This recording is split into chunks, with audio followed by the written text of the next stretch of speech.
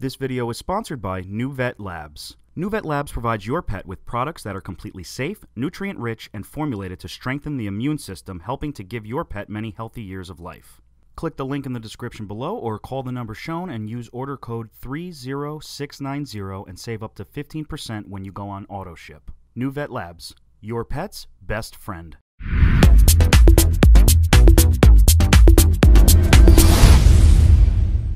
Hey everybody, thank you so much for stopping by and checking out another one of our videos.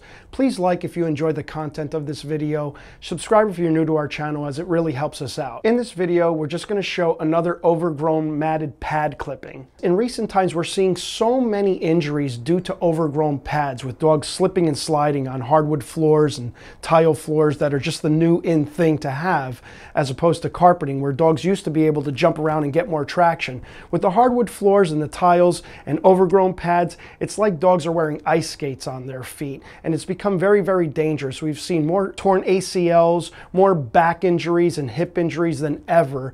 And I think due in part to this simple problem of just dogs having too much hair on their pads. So let's dive into this video and see what we can do to help that problem out. Okay guys, so let's get right into it. Um, we actually did this uh, right rear pad already and we figured uh, we're going to film these three. Uh, so we're going to get into this left rear pad so we're just going to get right into it guys. We're using a 30 blade here. Um, it's very important how you lift the leg. You really want to just kind of don't lift it outward lift it up and try not to lift it too high and support the dog. My left hand is up in here supporting the dog as I'm doing this. So we're just going to tap with our 30 blade. Got some serious matting in the pad, but this 30 blade is really going to work it out quickly. So we're kind of coming up, little V shape, just like that. And then we're going to come down and meet that mat, just like that. Okay, and it's just going to come right out, just like that. Just work it out slowly. And then we could just clean up everything else. There you go. So just like that. I'm just going to give him a break, put his leg down. And we'll just show you that again.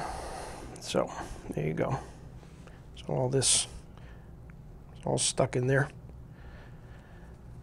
So when this is happening, guys, you really have to get it out because this is one of the main contributors of dogs getting injured. Uh, when the pads are like this, you know, if you had have hardwood floors or anything or tile, dogs are slipping. If they go to jump, you know, they're going to tear their ACL. They're going to they're going to hurt their their their hips. Um, so it's very very important to get this stuff out because it's kind of like they have carpets on their feet. Um, don't get me wrong, if you have a working dog or something like that, or an outdoor dog that's pulling a sled, uh, yes, then you might want to keep this stuff in there for the protection of the pad. But the average household dog isn't pulling a sled or anything, so we really just want to get this out to, so that they're not hurting themselves and slipping all over the place. Okay, so we're going to be working on this front left. Uh, so I'm going to come up high here and try to clear this out a little bit first. It's okay, Bubba. And then same concept. I'm gonna come up, little V. Just like that. It's okay, Bubba. It's okay. Just kind of want to clear it out first.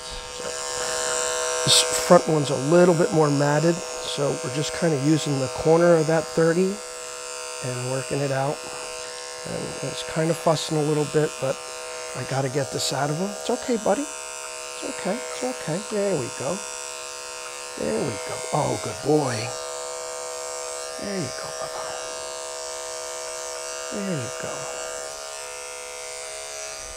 See, those mats go way down under there, right down all into the pad there. And that's where they form. So you really have to kind of get the corner of the blade in there and kind of dig it out. Um, I'll be honest with you, you're probably not going to be able to achieve this with a 10 blade. So you're going to have to kind of use that 30. But you have to also be very, very careful with the 30 because it will, it's more susceptible to cutting the dog. Uh, you don't want to cut the dog. But what we'll do is, we're going to leave it at that for now. And what we'll do is we'll wash that really well. And once we clean up a lot of that fur inside the pad, then it'll come out easier. Um, but while I'm at it, I like to kind of just do this too. Just grab this stuff. You'll save some time scissoring just by doing that. And there you go, a little bit better. We're gonna wash that up and go over it again. But you know, we got most of it out. There's a little bit here. Let me see, maybe I can kind of grab that. There you go, Bubba. There you go. It's okay, Bubba. It's okay. That's all. That's all. Come here. Put it down. We put it down. Good boy. Good boy. Good boy. Okay, guys. Uh, front right foot now. What we're doing is we're coming up underneath the dog here. Uh, we're not working on his right side because then it's a very awkward angle, being that I'm right-handed. Uh, so if you're right-handed, this is just a, a, a, better way to do it maybe, you know, uh, but I like to do it this way. This way I can support the dog with my forearm here, and it takes less pressure off of him standing. So again, we're just gonna go right at it, and I'm just gonna just make some clearance here you know, half of it is just kind of clearing some stuff out before you get to that matted area. But same thing, we're just gonna kind of dig, dig a little, dig, just like that, just work it out little by little, just like that. Come maybe down a little, not yet.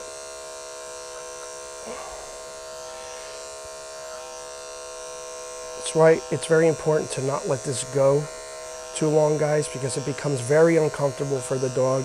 Uh, we do have him muzzled because, you know, he was kind of going for me, so we just don't want to get bitten, and we want to kind of protect him as well. It's okay, Bubba. It's okay. Good boy, good boy. Okay, okay. You know, you got to kind of work quickly as well, just so that you're not staying on it too, too long.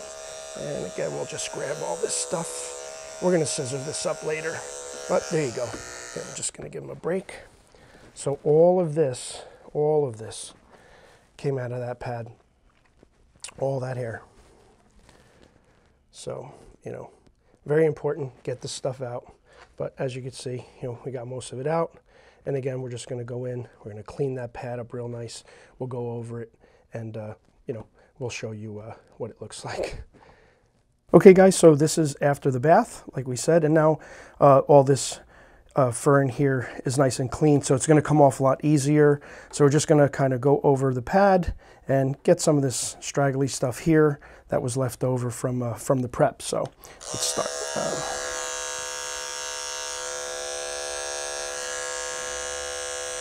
again, we're just getting those corners in, just like that.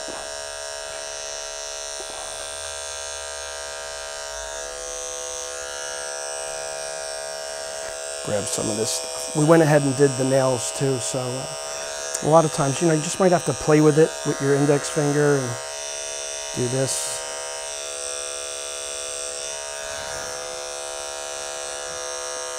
It's a little bit fidgety because, you know, when the mats get that bad, it's really tough to kind of get them out and dogs have to go through a little bit more, you know.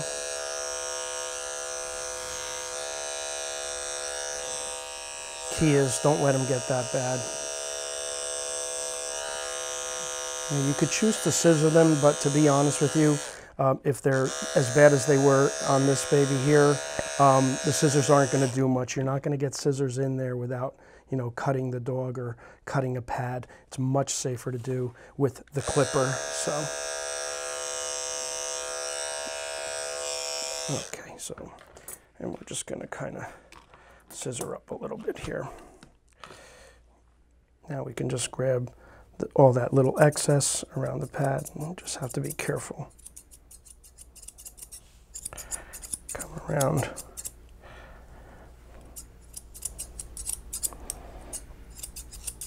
And so you can definitely see the big difference there, you know, from what it looked like before.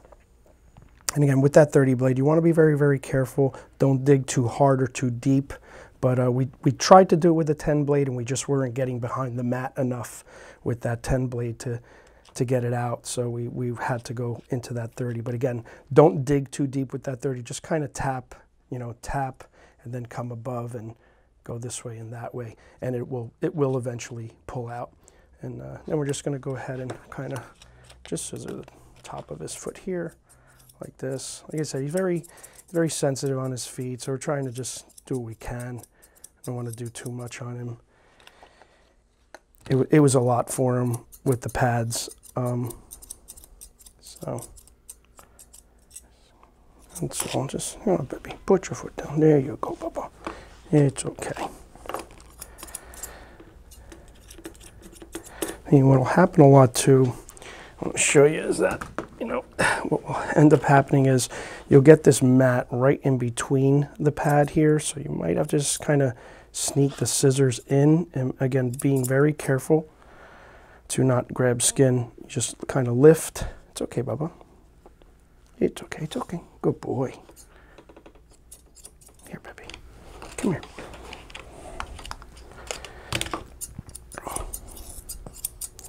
A lot of times we're just kind of lifting and pulling hair up with our index finger and our thumb and getting a little snip going.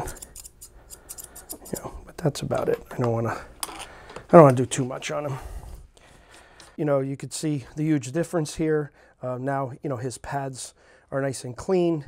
Um, and, uh, you know, his pads actually look really good. They don't look bad at all. Uh, if anything, the, the hair may have kept those pads protected in a way as well too. So yeah, the hair definitely does protect the pads to a sense, but as far as dog safety, now he could, you know, he could put that pad down on the ground now and get all the traction he needs. He's not going to be slipping and sliding and, you know, get hurt because of this, you know, overgrown hair in the pads. So you could see the just the extreme difference right here uh, from what we had before. So I'm sure he feels a lot better too.